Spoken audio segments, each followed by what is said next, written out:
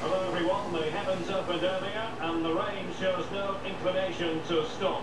We're looking forward to the game anyway.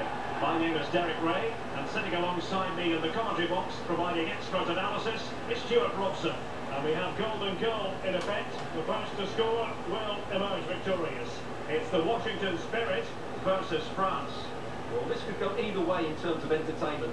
Hopefully we see two teams who want to win the game rather than two that are afraid of losing. But I'm optimistic.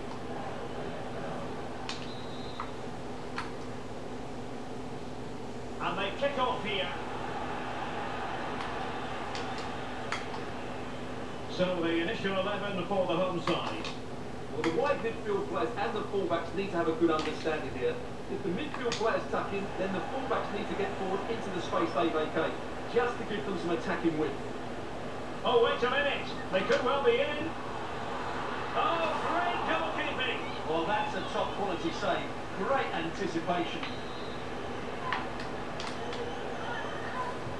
Playing it in. And in it goes. A goal. A decisive goal. Well, it makes for great drama, doesn't it? One big moment and the game is won.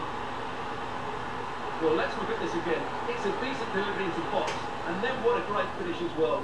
Good connection with the ball, leaving the keeper with little chance. It's a great goal.